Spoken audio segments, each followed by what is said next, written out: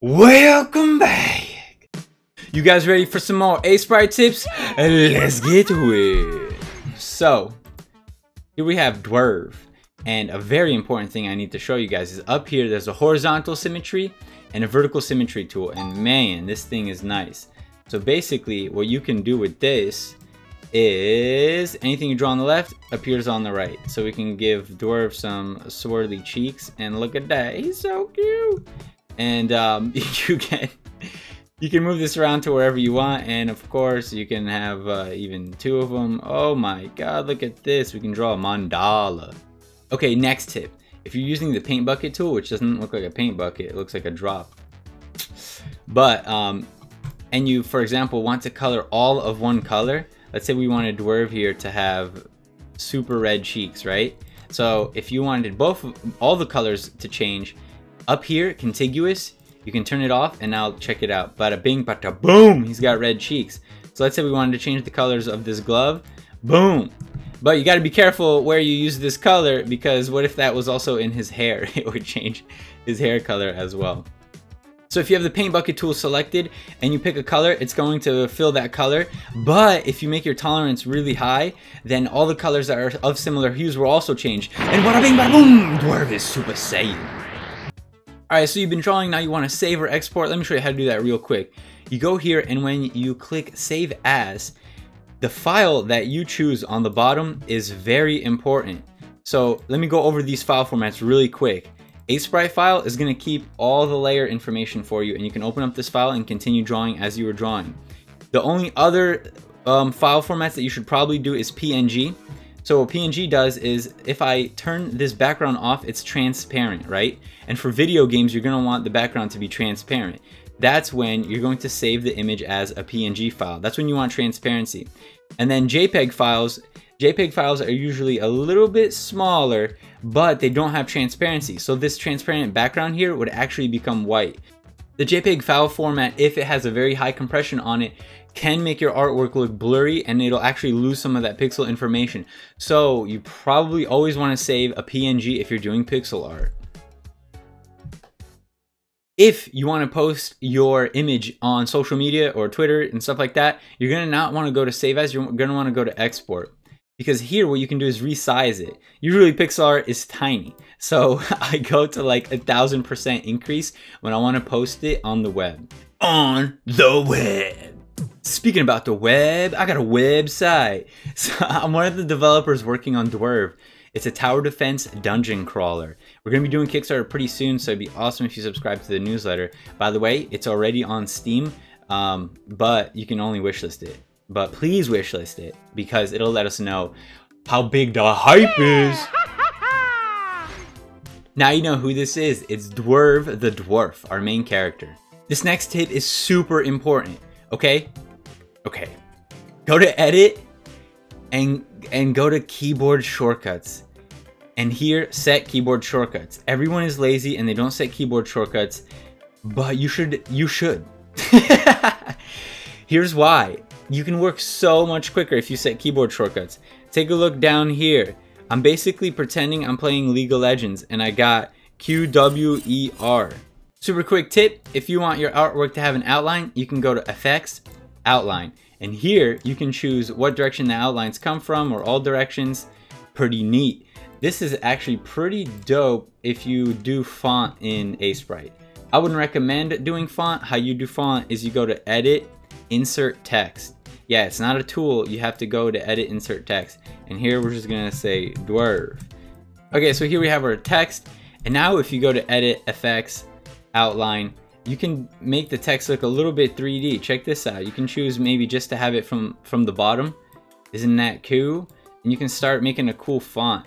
Um, with Alt, I don't know if I said this as a hotkey, but with Alt, I'm pretty sure it's the default eyedropper tool. So I can eyedrop this blue and then just go to uh, a color that's a little bit higher. Press F, boom, I and, and color that in. that was a terrible color. Whatever, the point is there's no point. If you accidentally make a selection that you didn't want, you can press Control D, and that'll deselect it. Another quick tip is you can press spacebar to drag your artwork around. So I just sit my fat thumb on that spacebar. You got to keep it held down. And then for zooming in and zooming out, I love to use Control Plus and Control Minus. This is what it was for me in Photoshop and Flash.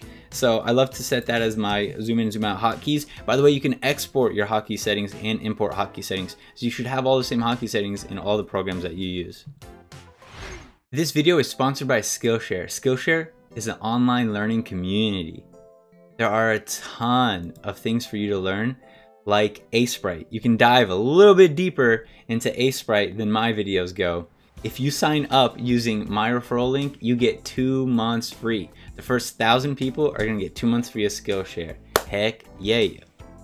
They also have tutorials for programs that I'm not gonna cover, like if you use Piskel, they have tutorials here for that as well. Almost any pixel art program is here.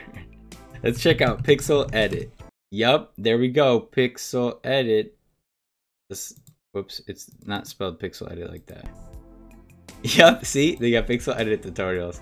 So pretty much for every single program, they're gonna cover it. A great thing about Skillshare is that after the trial, it's only like $10 a month. So you don't have to take it too serious. You can kind of take your time. You know what I mean? It's not like you're signed up to a college course or something. Okay, back to the tips. So let's say I wanted to do a pattern for this background here, right? I'm just gonna turn on my symmetry tool. I'm gonna do some Celtic, uh, some Celtic cool little pattern here or something like that. So now we're just gonna go ahead and select this um, with the selection tool, which you should have hotkey by the way. And here we can go to edit, new brush. And we just created a new brush and check this out. What, what's going on? So you can just paint now and it'll auto connect. You see that? It's like auto tiling. So these brackets right here, they're changing the hue for me. Check it out. I can I can change the the hue. Isn't that awesome? And that looks pretty snazzy. Is it? Oh my god, I didn't fix my camera. Oops. So as you make new brushes, they're going to get added to a drop down. Let me just show you real quick. Right here, up at the top, now I can select the brush that I want. So for example, if I want to use this brush, or this brush, or just go back to having a circle. When you switch to the circle and at the top here, you can use the scroll wheel to quickly change the size of your circle. So some, some super quick color tips, which by the way, I have a color palette video in my pixel art playlist. If you're here watching this, you should check out my entire playlist, honestly. It's gonna help you a ton.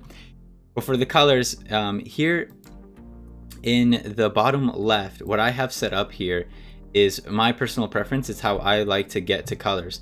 But what you can do is you can click the options here and if you, for example, like the color wheel, you can switch that to the color wheel. If you, for example, like, um, I don't know, whatever. I like tint and shade. What you can do is you can click the foreground color here, but up here, make sure that you're on HSV. The reason why HSV is so important is because it has all the stuff that you need.